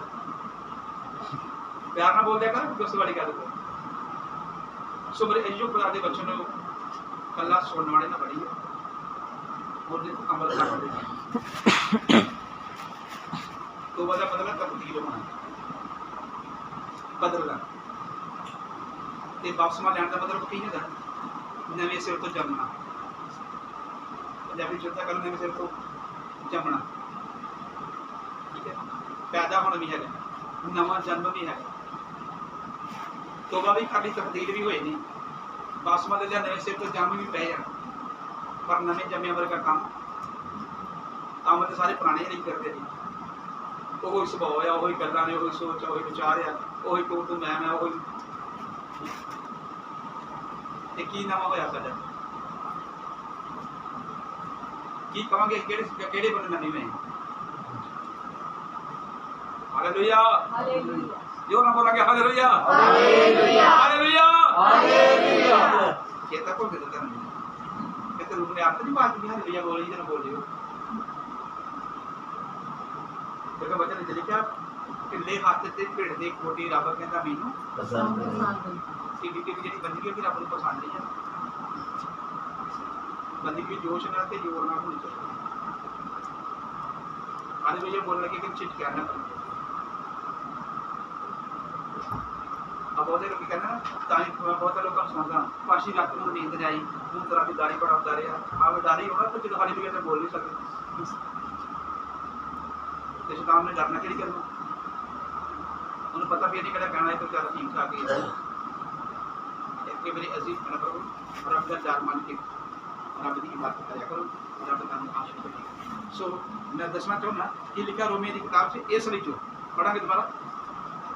ਇਸ ਲਈ ਜੋ ਹਾਂ। ਭਵਿਸ਼ਤਾ ਦੇ ਸੁਣਨ ਵਾਲੇ ਆਪੋਸਤਾਂ ਦੇ ਸੁਣਨ ਵਾਲੇ। ਪਰਮੇਸ਼ਵਰ ਦੇ ਪਾਣੇ ਧਰਮੀ ਨਹੀਂ ਹੁੰਦੇ। ਹਾਂ ਕੌਣ ਵੀ ਹੁੰਦੇ ਨੇ? ਪਰ ਭਵਿਸ਼ਤਾ ਤੇ ਚੱਲਣ ਵਾਲੇ ਹਾਂ। ਧਰਮੀ ਠਹਿਰਾਏ ਜਾਣਗੇ। ਵਸਤਾ ਦੇ ਚੱਲਣ ਵਾਲੇ ਬੱਚ ਦੇ ਚੱਲਣ ਵਾਲੇ। ਕੱਲੇ ਸੁਣਨ ਵਾਲੇ ਦੀ ਪੱਤਰੀ ਉਹਦੇ ਪਹਿਲੇ ਬਾਪ ਦੀ ਪਹਿਲਾ ਬਾਪ ਉਹਦੇ ਭਾਈ ਆ ਪੜ ਕੇ ਦੇਖਾਂ ਗਿਆ ਤੇ ਇਹਦੇ ਨਾਲ ਪੜਾਂਗੇ ਜਬੂਰ 103 ਦੀ 17 ਹੈ। ਹਾਂ। ਪਰ ਵਚਨ ਉੱਤੇ ਅਮਲ ਕਰਨ ਵਾਲੇ ਹੋਵੋ। ਹਾਂ। ਅਤੇ ਆਪਣੇ ਆਪ ਨੂੰ ਧੋਖਾ ਦੇ ਕੇ ਮੇਰੇ ਸੁਣਨ ਵਾਲੇ ਹੀ ਨਾ ਹੋ। ਹਾਲੇਲੂਇਆ। ਹਾਲੇਲੂਇਆ। ਥੋੜੀ ਸਪੀਡ ਵਧੀ। ਹਾਲੇਲੂਇਆ। ਹਾਲੇਲੂਇਆ। ਕੱਲੇ ਸੁਣਨ ਵਾਲੇ ਹੋ ਕੇ ਨਾ ਆਪਣੇ ਆਪ ਨੂੰ ਧੋਖਾ ਨਾ ਦਿਓ ਜਿਹੜੇ ਸੁਣ ਲੈਂਦੇ ਤੇ ਪੂਰਾ ਨਹੀਂ ਕਰਦੇ ਆਪਣੇ ਆਪ ਨੂੰ ਧੋਖਾ ਦੇ ਰਹੇ। ਧੋਖਾ ਦੇ ਰਹੇ। ਲੇਕਿਨ ਮੇਰੇ ਅਜੀਜੋ ਕੱਲੇ ਸੁਣਨ ਵਾਲੇ ਨਾ ਹੋ। ਜੇ ਕੱਲੇ ਸੁਣਨ ਵਾਲੇ ਹੋ ਪੂਰਾ ਨਹੀਂ ਕਰਦੇ ਸਮਝ ਲਓ ਕਿ ਆਪਣੇ ਆਪ ਨੂੰ ਧੋਖਾ ਦੇ ਰਹੇ ਹੋ। ਤੇ ਧੋਖਾ ਖਾਣ ਵਾਲੇ ਨਾ ਹੋ ਸੋ ਚੱਲਾਂਗੇ ਜ਼ਬੂਰ 103 ਦੀ 17 ਆਇਤ ਖੁਦਾ ਬਰਕਤ ਕਰੇਗਾ ਪਰ ਯਹੋਵਾ ਦੀ ਦਇਆ ਹਾਂ। ਆਦ ਤੋਂ ਅੰਤ ਤੱਕ ਹਾਂ। ਆਪਣੇ ਡਰਨ ਵਾਲਿਆਂ ਦੇ ਉੱਤੇ ਹੈ। ਯਹੋਵਾ ਦੀ ਦਇਆ ਕਿਹਨਾਂ ਦੇ ਉੱਤੇ ਆ? ਕਿਹਨਾਂ ਦੇ ਉੱਤੇ ਆ? ਜਿਹੜੇ ਯਹੋਵਾ ਦੇ ਕੋਲੋਂ ਜਿਹੜੇ ਯਹੋਵਾ ਦੇ ਕੋਲੋਂ ਡਰਦੇ ਨੇ। ਉਹਨਾਂ ਦੇ ਉੱਤੇ ਆ। ਠੀਕ ਹੈ? ਤੇ ਦਇਆ ਹੈ ਕਿੰਨੇ ਚਿਰ ਦੀ ਆਦ ਤੋਂ ਅੰਤ ਤੱਕ। ਠੀਕ ਹੈ? ਆਦ ਤੋਂ ਅੰਤ ਤੱਕ। ਛੇਤੀ ਮੁੱਕਣ ਵਾਲੀ ਨਹੀਂ ਹੈ। ਪਰ ਇਹ ਦਇਆ ਕਿਹਨਾਂ ਉੱਤੇ ਠਹਿਰਦੀ ਹੈ? ਜਿਹੜੇ ਉਹਦੇ ਕੋਲੋਂ? ਉਹਦੇ ਕੋਲੋਂ? ਡਰਦੇ। ਨੇ ਠੀਕ ਹੈ? ਤੇ ਜਿਹੜੇ ਡਰਦੇ ਆ ਨਾ ਮੈਂ ਦੱਸ ਰਿਹਾ ਸੀ ਕਿ ਜਿਹੜੀ ਰੱਬ ਦੇ ਨਾਲ ਪਿਆਰ ਹੈ ਨਾ ਉਹ ਵੈਸੇ ਦੋ ਤਰ੍ਹਾਂ ਦੇ ਨਾਲ ਬਹੁਤ ਸਪਸ਼ਟ ਹੈ ਪਰ ਤਿੰਨ ਵਾਰੀ ਵੀ ਕਹਿ ਸਕਦਾ। ਠੀਕ ਹੈ। ਚਾਹੇ ਤਾਂ ਸਾਨੂੰ ਰੱਬ ਦਾ ਡਰ ਹੋਵੇ ਤੇ ਤਾਂ ਅਸੀਂ ਰੱਬ ਦੇ ਕੰਮ ਕਰਾਂਗੇ। ਤੇ ਚਾਹੇ ਸਾਡੀ ਜ਼ਿੰਦਗੀ ਵਿੱਚ ਸ਼ੌਕ ਹੋਵੇ ਕਿ ਮੈਂ ਕਰਾਂ। ਤੇ ਜੇ ਡਰ ਵੀ ਨਹੀਂ ਤੇ ਸ਼ੌਕ ਵੀ ਨਹੀਂ ਤੇ ਫਿਰ ਉਦੋਂ ਥੋੜਾ ਜਿਹਾ ਰੱਬ ਦੇ ਲਾਗੇ ਲੱਗਦੇ ਆ ਜਦੋਂ ਫਿਰ ਉਹਦੀ ਉਤੋਂ ਮਤਲਬ ਲਾਠੀ ਵੱਜਦੀ ਹੈ ਨਾ। ਲਾਠੀ ਦਾ ਤੇ ਦੁੱਖ ਆਉਂਦਾ ਹੈ। ਕਸ਼ਟ ਵਿੱਚ ਪੈਂਦੇ ਆ ਨਾ। ਜਦੋਂ ਰੱਬ ਦਾ ਕਰੋਧ ਸਾਡੇ ਤੇ ਭੜਕਦਾ ਤੇ ਦੁੱਖ ਵਿੱਚ ਪਾਉਂਦਾ ਹੈ। ਤੇ ਉਦੋਂ ਫਿਰ ਕਹਿੰਦੇ ਰੱਬਾ ਮੇਰੇ ਕੋਲ ਗਲਤੀ ਹੋ ਗਈ। ਪਰ ਫਿਰ ਵੀ ਕਿੰਨਾ ਤੱਕ ਜਦ ਤੱਕ ਦੁੱਖ ਚੱਲਦਾ ਨਹੀਂ। ਜਦੋਂ ਤੱਕ ਸਾਡਾ ਸਵਾਲ ਸੁੱਖ ਨਹੀਂ ਹੁੰਦਾ ਹੱਦ ਤੱਕ ਆਪਣੀ ਗਲਤੀ ਦਾ ਅਹਿਸਾਸ ਕਰਦੇ ਸੁੱਖ ਦਾ ਸਾਹ ਹੋ ਨਾ, ਫਿਰ ਕੋਲ ਲਿਆਂਗੇ ਤੇ ਮੈਂ ਕਹਿੰਦਾ ਨਾ, ਦੋ ਤਿੰਨ ਗੱਲਾਂ ਚ ਕੋਈ ਨਾ ਕੋਈ ਇੱਕ ਗੱਲ ਹੋਣੀ ਚਾਹੀਦੀ ਸਾਡੀ। ਚਾਹੇ ਤੇ ਡਰ ਹੋਣਾ ਚਾਹੀਦਾ ਖੁਦਾ ਦਾ, ਤਾਂ ਅਸੀਂ ਖੁਦਾ ਦਾ ਕੰਮ ਕਰ ਸਕਦੇ ਹਾਂ। ਤੇ ਚਾਹੇ ਫਿਰ ਸ਼ੌਕ ਹੋਣਾ ਚਾਹੀਦਾ ਕਿ ਮੈਂ ਆਹ ਕੰਮ ਖੁਦਾ ਲਈ ਕਰਨਾ ਹੈ ਹਾਲੇਲੂਇਆ ਹਾਲੇਲੂਇਆ ਕਮਲਾਂਗੇ ਹਾਲੇਲੂਇਆ ਹਾਲੇਲੂਇਆ। ਹਾਲੇਲੂਇਆ ਸੋ ਮੇਰੇ ਅਜੀ ਜੋ ਤੁਹਾਡੀ ਕੀ- ਤੁਹਾਡੀ ਜ਼ਿੰਦਗੀ ਵਿੱਚ ਕਿਹੜਾ ਕਿਹੜੀ ਚੀਜ਼ ਹੈ ਕਿ ਸ਼ੌਕ ਹੈ ਖੁਦਾ ਦੀ ਕਿ ਜਾਂ ਡਰ ਹੈ ਖੁਦਾ ਦਾ ਅਵਲ ਤੇ ਦੋਵੇਂ ਗੱਲਾਂ ਬੜੀ ਜ਼ਰੂਰੀ ਪਰ ਮੈਂ ਕਹਿੰਦਾ ਜੇ ਦੋਵੇਂ ਨਹੀਂ ਕਰ ਸਕਦੇ ਇੱਕ ਗੱਲ ਤੇ ਜ਼ਰੂਰੀ ਹੋਣੀ ਚਾਹੀਦੀ ਹੈ। ਚਾਹੇ ਸ਼ੌਕ ਹੋਣਾ ਚਾਹੀਦਾ ਤੇ ਚਾਹੇ ਰੱਬ ਦਾ ਡਰ ਜੇ ਡਰ ਆ ਤੇ ਰੱਬ ਦੀ ਜਿਹੜੀ ਦਇਆ ਨਾ ਹਮੇਸ਼ਾ ਸੱਚ ਤੇ ਬਣੀ ਰਹੇਗੀ ਦੁਬਾਰਾ ਪੜਾ ਕੇ ਕਿਦਾਂ ਪਰ ਲਿਖਿਆ ਯਹੋਵਾ ਦੀ ਦਇਆ ਹਾਂ, ਪਰ ਯਹੋਵਾ ਦੀ ਦਇਆ। ਆਦ ਤੋਂ ਅੰਤ ਤੱਕ ਆਦਿ ਤੋਂ ਅੰਤ ਤੱਕ ਆਪਣੇ ਡਰਨ ਵਾਲਿਆਂ ਦੇ ਉੱਤੇ ਹੈ। ਆਪਣੇ ਡਰਨ ਵਾਲਿਆਂ ਦੇ ਉੱਤੇ ਹੈ। ਅਤੇ ਉਹਦਾ ਧਰਮ ਉਹਦਾ ਧਰਮ ਪੁੱਤਰਾ ਪੋਤਰਿਆਂ ਤੱਕ। ਉਹਦਾ ਧਰਮ ਕਦੋਂ ਤੱਕ ਆ? ਪੁੱਤਰਾ ਪੁੱਤਰਿਆ ਕਿੰਨੇ ਕਿੰਨੇ ਸੁਣਿਆ? ਕਿੱਥੋਂ ਤੱਕ ਆ? ਪੁੱਤਰਾਂ ਤੇ ਪੋਤਿਆਂ ਦੇ ਤੱਕ। ਐਡੀ ਵੱਡੀ ਰੱਬ ਦੀ ਕਿਰਪਾ ਹੈ ਕੀ ਤੁਸੀਂ ਨਹੀਂ ਚਾਹੁੰਦੇ? ਕਿ ਸਾਡੇ ਨਾਲ ਨਾਲ ਸਾਡੇ ਬੱਚਿਆਂ ਦੇ ਵੀ ਕਿਰਪਾ ਹੋਵੇ ਤੇ ਸਾਡੇ ਬੱਚਿਆਂ ਦੇ ਨਾਲ ਨਾਲ ਸੋਨੇ ਦੇ ਬੱਚਿਆਂ ਦੇ ਵੀ ਕਿਰਪਾ ਠੀਕ ਹੈ ਨਾ? ਪੁੱਤਰਾਂ ਤੇ ਪੋਤਿਆਂ ਤੱਕ। ਹਾਲੇਲੂਇਆ ਇਹਦਾ ਮਤਲਬ ਹੈ ਰੱਬ ਦੀ ਕਿਰਪਾ ਕਿ ਸਾਡੇ ਹੱਥ ਵਿੱਚ ਹੈ ਭਾਵੇਂ ਨੂੰ ਵਧਾਰੀਏ ਤੇ ਭਾਵੇਂ ਘਟਾ ਦਈਏ। ਜੇ ਵਧਾਉਣੀ ਹੋ ਵਧਾਵਾਂਗੇ ਤੇ ਰੱਬ ਦੇ ਹੁਕਮ ਨੂੰ ਪੂਰਾ ਕਰਾਂਗੇ ਤੇ ਕਿਰਪਾ ਵਧੇਗੀ। ਜੇ ਨਹੀਂ ਮੰਨਦੇ ਤੇ ਕਿਰਪਾ ਘਟ ਇਹ ਹੁਣ ਸਾਡੇ ਹੱਥ ਵਿੱਚ ਕਿਰਪਾ ਵਧਾਉਣੀ ਹੈ ਕਿ ਜਾਂ? ਜੇ ਰੱਬ ਦਾ ਡਰ ਹੋਵੇ ਨਾ ਤੇ ਤਾਂ ਹੀ ਸਾਰੀਆਂ ਗੱਲਾਂ ਦੇ ਦੁਆ ਵੀ ਤਾਂ ਹੀ ਹੁੰਦੀ ਹੈ। ਚਾਹੇ ਸ਼ੌਕ ਹੋਵੇ ਤੇ ਚਾਹੇ ਡਰ। ਠੀਕ ਹੈ? ਵਰਤ ਵੀ ਤਾਂ ਹੀ ਰੱਖਿਆ ਜਾਂਦਾ ਚਾਹੇ ਡਰ ਹੋਵੇ ਤੇ ਚਾਹੇ ਸ਼ੌਕ ਹੋਵੇ। ਠੀਕ ਹੈ? ਐਤਵਾਰ ਦੀ ਸੰਗਤ ਵੀ ਤਾਂ ਹੀ ਲਗਾਨਾ ਹੁੰਦੀ ਹੈ ਜੇ ਚਾਹੇ ਡਰ ਹੋਵੇ ਤੇ ਚਾਹੇ ਸ਼ੌਕ ਹੋਵੇ। Hallelujah. Hallelujah. Hallelujah. Hallelujah. Hallelujah. ਗਲਤੀਆਂ ਸਾਡੀਆਂ ਨਹੀਂ ਗੁਨਾਹ ਸਾਡੇ ਆ। ਅਣਪ੍ਰਮਾਨੀਆਂ ਤੇ ਅਣ ਆਗਿਆਕਾਰੀਆਂ ਸਾਡੀਆਂ। ਤੇ ਦੋਸ਼ ਅਸੀਂ ਕਿਹਨੂੰ ਦੇ ਨੇ ਦੋਸ਼ ਰੱਬ ਨੂੰ ਤਾਂ ਕੱਟ ਦਿੰਦੇ ਪਰ ਨੂੰ ਜ਼ਿਆਦਾ ਦਿੰਦੇ। ਜਾਂ ਮੇਰਾ ਸਾਡੇ ਦੁਆ ਨਹੀਂ ਕਰਦੇ ਅੱਜ ਕੱਲ ਵੈਸੇ ਸਮਝ ਜਾਂਦਾ ਹੈ, ਦੋਸ਼ ਖੁਦਾ ਦੇ ਲੋਕਾਂ ਨੂੰ ਰੱਬ ਨੂੰ ਤੇ ਕਿਲੋ ਨਾ ਕਿਲੋ ਨੂੰ ਪਤਾ ਕਿ ਰੱਬ ਤੇ ਬੜੀ ਦੂਰ ਹੈ ਕੀ ਪਤਾ ਲੱਪੜਾ ਕਿ ਨਹੀਂ ਲੱਪਣਾ ਇਹ ਤਾਂ ਸਾਹਮਣੇ ਹੈ ਕੋਈ ਗੱਲ ਆ ਕਈ ਵਾਰੀ ਕਈ ਘਰ ਪਰ ਉਹਨਾਂ ਨੂੰ ਗੱਲ ਕੀਤੀ। ਪਾਸ਼ਾ ਜੀ ਕੀ ਗੱਲ ਮੈਂ ਕਿਹਾ ਕੀ ਹੈ ਆ ਪਤਾ ਨਹੀਂ ਮੁਸੀਬਤ ਜੀ ਫੇਰ ਆ ਗਈ ਹੁਣ ਸਾਡੇ ਦੁਆ ਨਹੀਂ ਕਰਦੇ। ਤੇ ਮੈਂ ਕਿਹਾ ਮੈਂ ਤੇ ਦੁਆ ਕਰੂੰਗਾ ਜਿਹਨੂੰ ਭੁੱਖ ਹੈ ਉਹਨੂੰ ਵੀ ਤੇ ਕਹਿਣਾ ਚਾਹੀਦਾ ਮੈਨੂੰ ਭੁੱਖ ਲੱਗੀ ਹੈ। ਹਾਲੇਲੂਇਆ ਕਿਉਂਕਿ ਵਚਨ ਤੇ ਇਹ ਸਿਖਾਉਂਦਾ ਤੁਸੀਂ ਮੰਗੋਗੇ ਤੁਹਾਨੂੰ ਮੰਗੋਗੇ ਤੁਹਾਨੂੰ। ਸਾਡੇ ਮੰਗਣ ਤੇ ਖੁਦਾ ਨੇ ਸਾਨੂੰ ਦੇਣਾ। ਤੇ ਜ਼ਰੂਰਤ ਜਿਹਨੂੰ ਆ ਫਿਰ ਮੰਗਣਾ ਵੀ ਤਾਂ ਉਹਨੂੰ ਹੀ ਪੈਣਾ। ਹਾਲੇਲੂਇਆ ਹਾਲੇਲੂਇਆ ਦੱਸੋ ਮੇਰੇ ਅਜੀਜੋ ਖੁਦਾ ਤੁਹਾਨੂੰ ਬਰਕਤ ਦੇਵੇ ਰੱਬ ਦਾ ਬੰਦਾ ਮੂਸਾ ਬਵਸਾ ਦੇ ਅਨੁਸਾਰ ਆਪਣੇ ਲੋਕਾਂ ਨੂੰ ਸਿਖਾਉਂਦਾ ਸੀ ਗੱਲ। ਮੈਂ ਪੜਾਉਣਾ ਚਾਹੁੰਦਾ ਖੁਦਾ ਦੇ ਵਾਸਤੇ ਛੇ ਦੀ 25 ਵਿੱਚ ਲਿਖਿਆ ਹੈ ਬਵਸਾ ਸਾਹਿਬ ਦੀ ਕਿਤਾਬ ਛੇ ਦੀ 25 ਆਇਤ ਵਿੱਚ। ਹੈ। ਮੂਸਾ ਰੱਬ ਦਾ ਦਾਸ ਆਪਣੀ ਸੰਗਤ ਨੂੰ ਸਿਖਾਉਂਦਾ ਸੀ, ਆਪਣੇ ਪੰਚਾਂ ਨੂੰ ਸਿਖਾਉਂਦਾ ਸੀ। ਕਿ ਤੁਸੀਂ ਕਹਿੰਦੇ ਮੈਂ ਧਰਮੀ ਮੈਂ ਧਰਮੀ, ਮੇਰਾ ਧਰਮ ਮੇਰਾ ਧਰਮ। ਜੇ ਤੁਸੀਂ ਰੱਬ ਦਾ ਹੁਕਮ ਨਹੀਂ ਮੰਨਦੇ ਤਾਂ ਕੋਈ ਧਰਮ ਨਹੀਂ ਹੈ। ਰੱਬ ਦਾ ਹੁਕਮ ਮੰਨਣਾ ਸਾਡਾ ਧਰਮ ਅੜ ਕੇ ਦੇਖ ਲਓ ਖੁਦਾ ਇਹ ਕੀ ਸਾਡਾ ਧਰਮ ਹੋਵੇਗਾ। ਇਹ ਸਾਡਾ ਧਰਮ ਹੋਵੇਗਾ। ਅਸੀਂ ਇਹਨਾਂ ਸਾਰੇ ਹੁਕਮਾਂ ਨੂੰ ਇਹਨਾਂ ਇਹਨਾਂ ਸਾਰੇ ਹੁਕਮਾਂ ਨੂੰ ਜਿਨ੍ਹਾਂ ਦਾ ਉਸਨੇ ਹੁਕਮ ਦਿੱਤਾ ਸੀ। ਜਿਨ੍ਹਾਂ ਦਾ ਉਸ ਨੇ ਹੁਕਮ ਦਿੱਤਾ ਸੀ। ਯਹੋਵਾ ਆਪਣੇ ਪਰਮੇਸ਼ਰ ਦੇ ਅੱਗੇ ਚੰਗੀ ਤਰ੍ਹਾਂ ਮੰਨੀਏ ਯਹੋਵਾ ਆਪਣੇ ਪਰਮੇਸ਼ਰ ਦੇ ਅੱਗੇ ਚੰਗੀ ਤਰ੍ਹਾਂ ਮੰਨੀਏ ਕਿੱਦਾਂ ਮੰਨੀਏ? ਚੰਗੀ ਤਰ੍ਹਾਂ। ਕਿੱਦਾਂ ਮੰਨੀਏ? ਚੰਗੀ ਤਰ੍ਹਾਂ। ਕਿੱਦਾਂ ਮੰਨੀਏ? ਚੰਗੀ ਤਰ੍ਹਾਂ। ਚੰਗੀ ਤਰ੍ਹਾਂ। ਕਿਤੇ ਕੋਈ ਕਸਰ ਰਹਿ ਨਾ ਜਾ ਕਿਸੇ ਬੰਨੇ ਕੋ ਕਮੀ ਰਹਿ ਨਾ ਜਾਵੇ ਚੰਗੀ ਤਰ੍ਹਾਂ। ਇਹ ਸਾਡਾ ਹੁਕਮ ਹੈ ਇਹ- ਇਹ ਸਾਡਾ ਧਰਮ ਹੈ। ਇਹ ਕੋਈ ਧਰਮ ਨਹੀਂ ਜਿਹੜਾ ਦੁਆ ਨਹੀਂ ਚੱਜ ਨਾਲ ਕਰਦਾ। ਉਹਦਾ ਕੋਈ ਧਰਮ ਨਹੀਂ। ਜਿਹੜਾ ਰੋਜ਼ਾ ਨਹੀਂ ਰੱਖਦਾ, ਉਹਦਾ ਕੋਈ ਧਰਮ ਨਹੀਂ। ਜਿਹੜਾ ਤਵਾਰ ਨੂੰ ਸੰਗਤ ਚੱਜ ਨਾਲ ਨਹੀਂ ਉਹਦਾ ਕੋਈ ਧਰਮ ਨਹੀਂ ਮੇਰੇ ਜੀ ਜੋ ਜਿਹੜਾ ਰੱਬ ਦਾ ਡਰ ਨਹੀਂ ਜਮਾ ਠੀਕ ਹੈ? ਖੁਦਾ ਦੇ ਲੋਕਾਂ ਦਾ ਇੱਕੋ ਹੀ ਧਰਮ ਹੈ। ਦੁਨੀਆ ਦੇ ਧਰਮ ਤੇ ਬਹੁਤ ਨੇ। ਪਰ ਸਾਡੇ ਮਸੀਹ ਲੋਕਾਂ ਦਾ, ਖੁਦਾ ਦਾ ਡਰ ਮੰਨਣ ਲੋਕਾਂ ਦਾ ਇੱਕੋ ਹੀ ਧਰਮ ਹੈ ਕਿ ਅਸੀਂ ਮਸੀਹ ਯਿਸੂ ਦੇ ਹੁਕਮਾਂ ਨੂੰ ਚੰਗੀ ਤਰ੍ਹਾਂ ਮੰਨੀਏ। Hallelujah hallelujah. Hallelujah hallelujah. Hallelujah hallelujah. ਜ਼ਬੂਰ 84 ਦੀ 11 ਦੇ ਵਿੱਚ ਇਹਦਾ ਲਿਖਿਆ ਹੋਇਆ ਖੁਦਾ ਤੁਹਾਨੂੰ ਆਸ਼ੀਸ਼ ਦੇਵੇ। ਜ਼ਬੂਰ 84 ਦੀ 11 ਦੇ ਵਿੱਚ ਇਹਦਾ ਲਿਖਿਆ ਹੋਇਆ। ਕੋਈ ਚੰਗੀ ਚੀਜ਼ ਨਾ ਰੋਕੇਗਾ ਇਹ ਵਾਅਦਾ ਉਹਦੇ ਲਈ ਹੈ ਜਿਹੜੇ ਉਹਦੇ ਪੜਾਂਗੇ ਦੁਬਾਰਾ ਯਹੋਵਾ ਪਰਮੇਸ਼ਵਰ ਹਾਂ ਯਹੋਵਾ ਪਰਮੇਸ਼ਵਰ। ਇੱਕ ਸੂਰਜ ਤੇ ਇੱਕ ਢਾਲ ਹੈ। ਇੱਕ ਸੂਰਜ ਤੇ ਇੱਕ ਢਾਲ ਹੈ। ਇੱਕ ਕੀ ਆ? ਢਾਲ ਹੈ। ਰੋਸ਼ਨੀ ਦੇਣ ਵਾਲਾ ਉਹ ਤੇ ਬਿਮਾਰੀਆਂ ਨੂੰ ਮੁਸੀਬਤਾਂ ਨੂੰ ਡੱਕਣ ਵਾਲਾ ਵੀ ਉਹੀ ਇੱਕ ਸੂਰਜ ਹੈ ਇੱਕ ਢਾਲ। ਹਾਂ। ਯਹੋਵਾ ਦਇਆ ਅਤੇ ਤੇਜ ਦੇਵੇਗਾ। ਯਹੋਵਾ ਦਿਆ ਅਤੇ ਤੇਜ ਦੇਵੇਗਾ। ਉਸ ਦਿਆਈ ਵਿੱਚ ਚੱਲਣ ਵਾਲਿਆਂ ਤੋਂ ਉਸ ਦਿਹਾਈ ਵਿੱਚ ਚੱਲਣ ਵਾਲਿਆਂ ਤੋਂ ਕੋਈ ਚੰਗੀ ਚੀਜ਼ ਨਹੀਂ ਰੋਕੇਗਾ। ਹਾਲੇਲੂਇਆ। ਹਾਲੇਲੂਇਆ। ਕੀ ਨਹੀਂ ਰੋਕੇਗਾ? ਚੰਗੀ ਚੀਜ਼।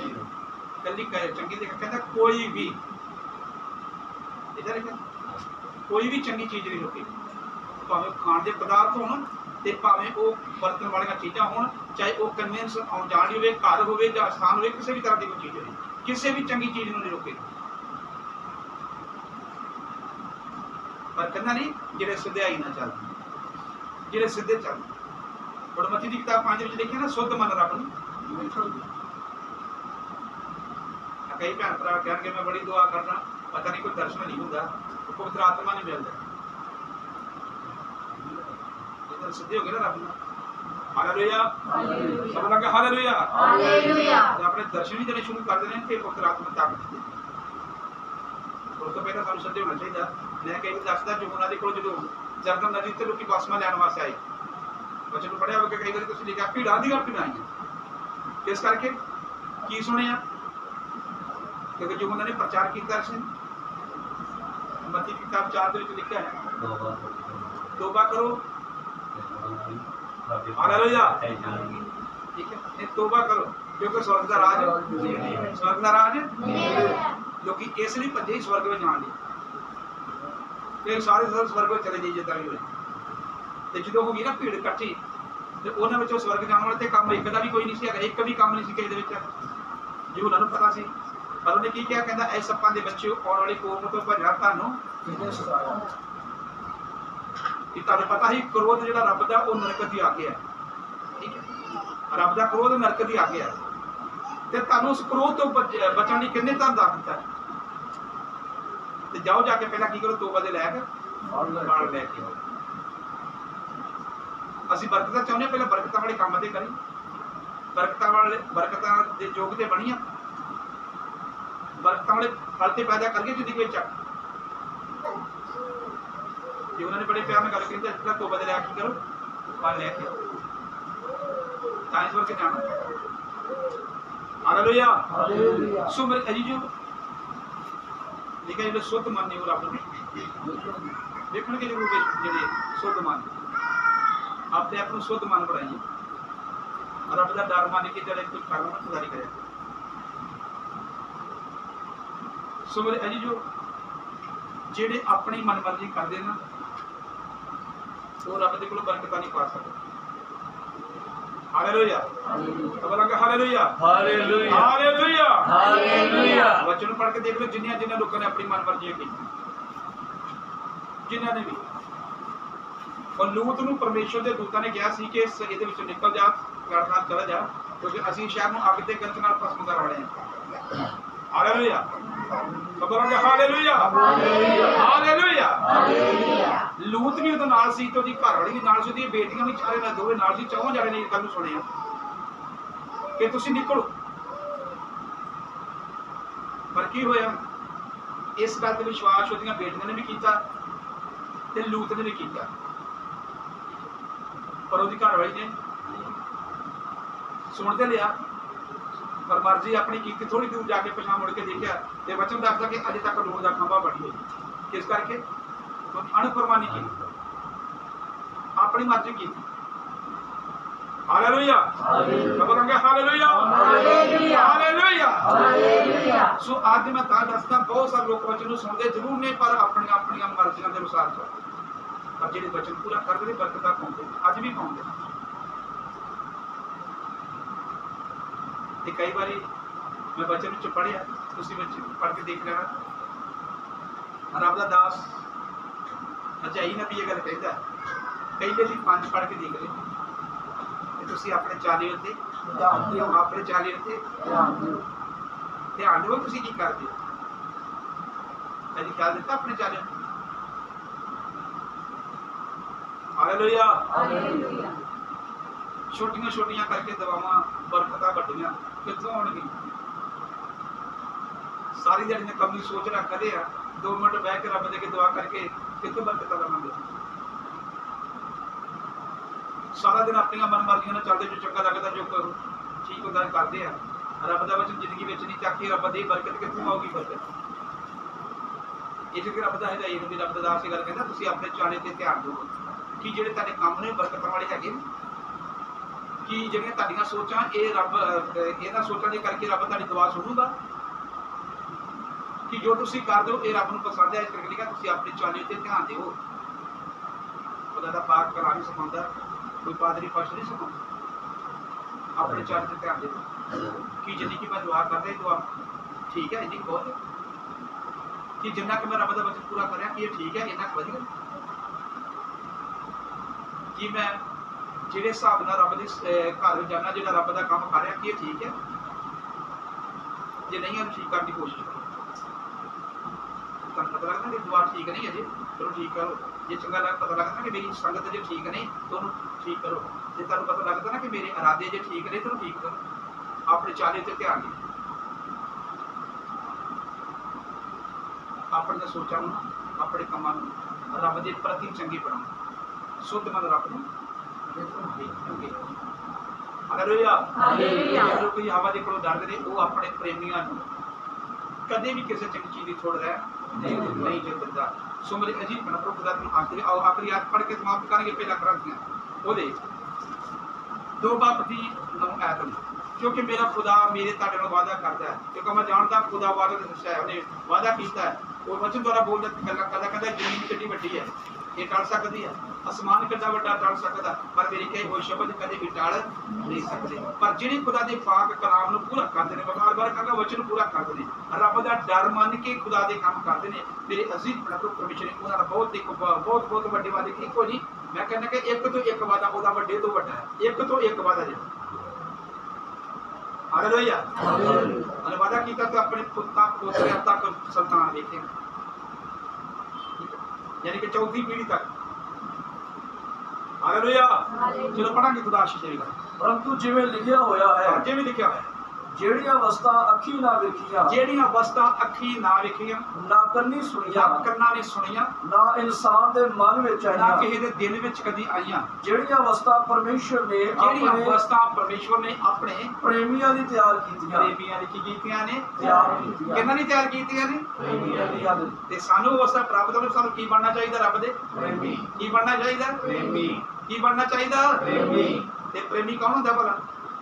ਜਿਹੜਾ ਕਿਸੇ ਵੀ ਗੱਲ ਦੀ ਪਰਵਾਹ ਨਹੀਂ ਕਰਦਾ। ਹਾਲੇਲੂਇਆ। ਹਾਲੇਲੂਇਆ। ਸਭ ਲਾ ਕੇ ਹਾਲੇਲੂਇਆ। ਹਾਲੇਲੂਇਆ। ਹਾਲੇਲੂਇਆ। ਠੀਕ ਹੈ ਮੈਂ ਕਹਿੰਦਾ ਸੋਚਦਾ ਹੁਣ ਤੁਸੀਂ ਵੀ ਜ਼ਿਆਦਾ ਜਾਣਦੇ ਹੋ। ਕਿਉਂਕਿ ਇਹ ਗੱਲ ਤੇ ਮੈਂ ਲੋਕਾਂ ਦੇ ਕੋਲੋਂ ਸੁਣੀ ਆ। ਮੈਂ ਬੱਚੇ ਨਹੀਂ ਲਿਖੀ ਕਿ ਜਿਹੜਾ ਪਿਆਰ ਕੀ ਹੁੰਦਾ ਵਾ? ਬੋਲੋ। ਕੀ ਹੁੰਦਾ ਆ? ਪਤਾ ਸਾਰੇ ਨੂੰ ਬੋਲ ਦਿਓ ਕੋਈ ਗੱਲ ਨਹੀਂ। ਪਿਆਰ ਕੀ ਹੁੰਦਾ ਆ? ਤੇ ਜੇ ਲੋਕਾਂ ਲਈ ਇੱਕ ਇਨਸਾਨ ਲਈ ਅੰਨੇ ਹੋ ਸਕਦੇ ਤਾਂ ਰੱਬ ਲਈ ਨਹੀਂ ਅੰਨੇ ਹੋ ਸਕਦੇ। ਫਿਰ ਕਿਉਂ ਵੇਖਦੇ ਇੱਧਰ ਉੱਧਰ ਵੇਖ ਮੇਰਾ ਕਹਿਣ ਦਾ ਮਤਲਬ ਇਹ ਠੀਕ ਹੈ। ਜੇ ਦੁਨੀਆ ਦੇ ਪਿਆਰ ਲਈ ਅੰਨਾ ਬੰਦਾ ਹੋ ਸਕਦਾ ਹੈ, ਤੇ ਰੱਬ ਦੇ ਪਿਆਰ ਲਈ ਸਾਨੂੰ ਪਤਾ ਤੇ ਹੋਣਾ ਚਾਹੀਦਾ? ਇਬਰਾਹਿਮ ਸੀ ਰੱਬ ਦਾ ਪ੍ਰੇਮੀ, ਉਹਨੇ ਕੋਈ ਗੱਲ ਦੀ ਪਰਵਾਹ ਨਹੀਂ ਕੀਤੀ। ਕਹਿੰਦਾ, ਨਹੀਂ ਮਿਲੂਗੀ ਸਰਕਾਰ ਕੋਈ ਗੱਲ ਜਿਹੜਾ ਦਿੱਤਾ ਵੀ ਰੱਬ ਨੂੰ ਦੇ ਦੋ ਹੰਨਾ ਨੇ ਰੱਬ ਨਾਲ ਪਿਆਰ ਕੀਤਾ ਸੀ ਰੱਬ ਨਾਲ ਪਿਆਰ ਕੀਤਾ ਸੀ ਮੇਰੇ ਜੀ ਜੋ ਉਹਨੇ ਕਿਹਾ, ਜਿਹੜਾ ਤੂੰ ਕਹੇਂਗਾ ਮੈਂ ਤੈਨੂੰ ਦੇ ਦੇਣਾ, ਗੱਲ ਕੋਈ ਨਹੀਂ, ਚਿੰਤਾ ਕੋਈ ਰੱਬ ਆਪਣੇ ਪ੍ਰੇਮੀਆਂ ਦੇ ਲਈ ਕਦੇ ਵੀ ਚੰਗੀਆਂ ਚੀਜ਼ਾਂ ਨੂੰ ਰੋਕ ਕੇ ਨਹੀਂ ਰੱਖਦਾ ਤੇ ਰੱਬ ਦੇ ਪ੍ਰੇਮੀ ਬਣੋ ਰੱਬ ਨਾਲ ਪਿਆਰ ਕਰਨ ਵਾਲੇ ਬਣੋ ਤੇ ਉਸ ਪਿਆਰ ਨੂੰ ਸਾਬਤ ਵੀ ਕਰੋ ਕਿ ਅਸੀਂ ਰੱਬ ਪਿਆਰ ਕਰਦੇ ਹਾਂ। ਤੇ ਜੇ ਮੰਨ ਲਓ ਉਹ ਤਾਂ ਕਹਿੰਦੇ ਰੱਬ ਨਾਲ ਬੜਾ ਪਿਆਰ ਕਰਦਾ ਤੇ ਮਰਜ਼ੀ ਨਾਲ ਆਪਣੇ ਤੇ ਕੀ ਪਿਆਰ ਹੈ ਰੱਬ ਕਿਹੜੀ ਗੱਲ ਦੀ ਮਤਲਬ ਕੁਰਬਾਨੀ ਕਰਦੇ ਹੋ ਰੱਬ ਨੂੰ? ਕਿਹੜੀ ਗੱਲ ਤੇ ਰੱਬ ਨੂੰ ਪਿਆਰ ਦਿੰਦੇ ਕਦੀ ਗੱਲ ਕਹੀ ਆ? ਕਿ ਰੱਬਾ ਕੰਮ ਮਿਲੇ ਨਾ ਮਿਲੇ, ਪਰ ਮੈਂ ਐਤਵਾਰ ਨਹੀਂ ਛੱਡਣਾ ਉਹ ਕੱਲ ਕੱਢਦਾ ਨੂੰ ਅੱਜ ਕੱਢ ਦੇਵੇ ਅੱਜ ਬਹੁਤ ਲੋਕਾਂ ਦੇ ਮਨ ਵਿੱਚ ਇਹ- ਉਹ ਪਤਾ ਨਹੀਂ ਕਿਸੇ ਨੂੰ ਕੁਝ ਕਹਿਣਾ ਕਿ ਨਹੀਂ ਕਹਿਣਾ ਆਪਣੇ ਮਨ ਭਜਾਈ ਫਿਰਨਗੇ ਭਾਈ ਬਦਲ ਕੇ ਕੱਢ ਨਾ ਦੇ ਇਹਨੂੰ। ਤੇ ਜੇ ਉਹਨਾਂ ਨੇ ਕੱਢਣਾ ਤੇ ਉਹਦਾ ਵੀ ਕੱਢ ਹੀ ਹਾਲੇਲੂਇਆ ਸਭ ਲੱਗਾ ਹਾਲੇਲੂਇਆ ਹਾਲੇਲੂਇਆ ਹਾਲੇਲੂਇਆ ਕੋਈ ਰਿਸ਼ਤੇਦਾਰ ਕੋ ਰਿਸ਼ਤੇਦਾਰ ਨਾ ਕੋਸੇ ਹੋ ਜਾ ਕੇ ਲੋ ਨੂੰ ਪਤਾ ਲੱਗ ਜਿੰਨੇ ਹੋਣਾ ਉਹਨੇ ਹੋ ਹੀ ਜਾਣਾ। ਇਹ ਸੱਚ ਆ ਜੇ ਅਸੀਂ ਰੱਬ ਨਾਲ ਪਿਆਰ ਕਰਦੇ ਤਾਂ ਰੱਬ ਰੁੱਸਿਆਂ ਨੂੰ ਵੀ ਮਨਾ ਦਿੰਦਾ। ਉਹ ਟੁੱਟਿਆਂ ਨੂੰ ਜੋੜ ਦਿੰਦਾ, ਜੇ ਟੁੱਟੇ ਹੋਏ ਨਾ ਰੱਬ ਉਹਨਾਂ ਨੂੰ ਵੀ ਜੋੜ ਦਿੰਦਾ।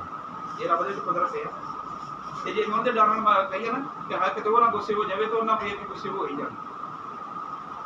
ਤੇ ਜੇ ਕਿ ਰੱਬ ਰੱਬ ਨਹੀਂ ਗੁੱਸੇ ਹੋਣਾ ਚਾਹੀਦਾ, ਲੋਕਾਂ ਦੀ ਕੋਈ ਗੱਲ ਨਹੀਂ, ਤੇ ਰੱਬ ਉਹਨਾਂ ਰੁੱਸਿਆਂ ਨੂੰ ਫੇਰ ਮਨਾ ਵੀ ਜਾਵੇਗਾ ਆ ਤੁਸੀਂ ਕਦੇ ਬੱਚੇ ਨੂੰ ਪੜ੍ਹ ਕੇ ਦੇਖੋ ਕੀ ਲਿਖਿਆ। ਜਿਹੜਾ ਹੈ ਰੋਦੇਸ਼ ਤੇ ਪੈਰਾਤੁਸ ਸੀ ਨਾ, ਉਹ ਦੋਵਾਂ ਦੇ ਵਿੱਚ ਆਪ ਇੱਕ ਦੇ ਇੱਕ ਵੱਟੇ ਦਾ ਵੈਰ ਸੀ। ਜਾਨ ਦੇ ਦੁਸ਼ਮਣ ਸੀਗੇ।